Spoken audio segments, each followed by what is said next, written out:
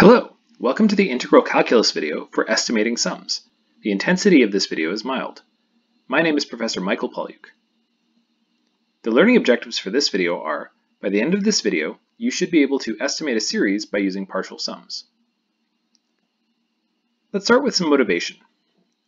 It turns out that the series of 1 over k squared, with k going from 1 to infinity, has an exact value and it's pi squared over 6, which is kind of a remarkable fact.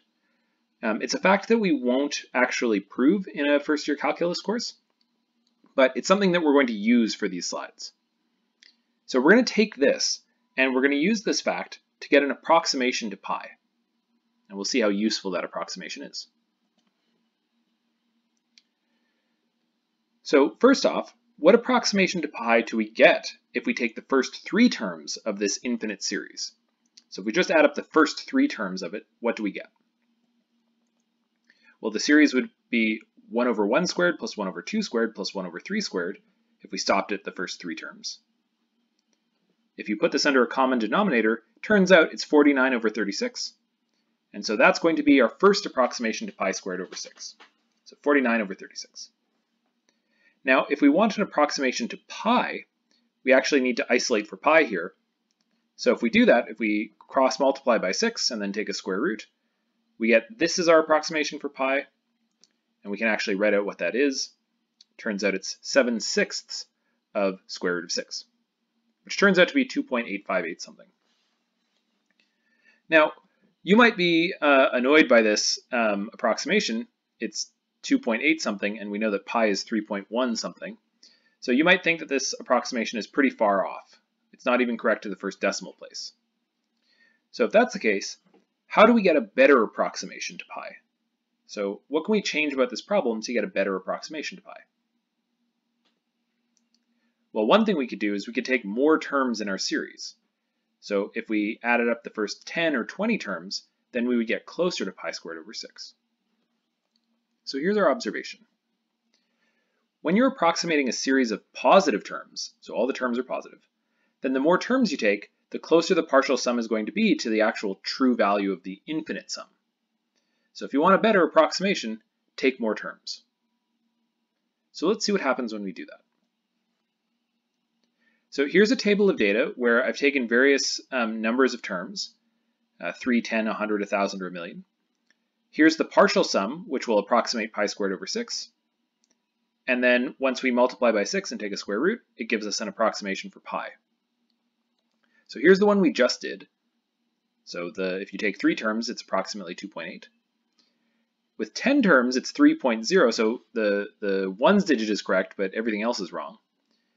If you take 100 terms, it's 3.1 something, so the first digit's correct. Take 1,000 terms, the first two digits are correct. And if you jump all the way to a million, well, we have 3.14159, which is correct, and then the rest is incorrect. So if you want to get five decimal places correct, you need to take a million terms. That's a lot of terms. So one observation we can make about this particular series is that the partial sums aren't converging to pi squared over 6 very quickly. And that's not a formal thing. It just looks like I don't really want to add up a million terms just to get an approximation to pi. Like that's within, that, that has five decimal places correct. Seems like I'm going to have to do a lot of work. So is there a way for us to rearrange this or find a different um, setup so that it's going to go, our approximations will be better or faster? So let's start with the other uh, strange fact, which is that this related series, so it's this alternating series um, over k squared, it actually converges to pi squared over 12. So we're going to use this to get an approximation to pi as well. So just like in the last case, we're going to list out various partial sums, so taking various uh, amounts of um, terms. And then here's the partial sum, which is approximation to pi squared over 12. And then by multiplying by 12 and dividing by, uh, or taking the square root, we get an approximation to uh, pi. So now what's happening in this case is that the terms are, you can already see, are getting close to pi much faster. So when we're at 10 terms, it's already 3.1, almost 4.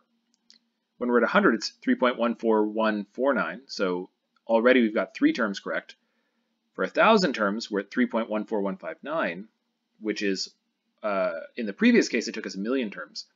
And once we get up to a million terms, this is almost like, this is mostly correct. I'll let you figure out where it starts to break. So the observation here is that the partial sums of this series are converging a little bit faster than the other series. So this leads us to a couple questions. So our first big question is, how many terms of a sum do you have to add to get the first 100 decimal places of pi correct? So we saw getting the first five or six. How many would we, how many terms would we have to take to get the first 100 decimal places of pi correct? So the answer is going to come a little bit later in the course. So later in the course, we're going to study something called error bounds, which is exactly answering this question. How many terms do we have to take to get a certain amount of accuracy? So for some special forms of series, not every series, but some of them, um, we'll know exactly how many terms to take to get to within, say, 100 decimal places of the infinite sum. So be on the lookout for those special series that allow us to have error bounds. A second question that may have come up while thinking about this is, is there a faster way to do this? Is there a faster way to get the like decimals of pi? Because it seems like even taking a thousand terms kind of sucks, and that's not something we can do by hand. So is there a, a series or is there another method that converges even faster to pi? So this is a great question and one that we won't tackle in a first year calculus course. So here are two other exercises that you can try. So how many terms do you need to add to get to within 0.01 of the, sum, the infinite sum 1 over 2 to the k? We know that the harmonic series 1 over k diverges. So how large does n need to be so that the partial sum of 1 over k's from k equals 1 to n is larger than 3? We know it diverges, so it has to be bigger than 3. Um, at what point does it get bigger than 3? And then finally, some other reading that you might be interested in. There are two Wikipedia articles related to this. One is about Apéry's constant. So this is about the value of the sum of 1 over k cubed, not k squared, which is what we looked at today. Um, and Approximations of Pi is a really nice article for historically and in modern times, how do people find the decimals of pi? Thank you very much and have a great day.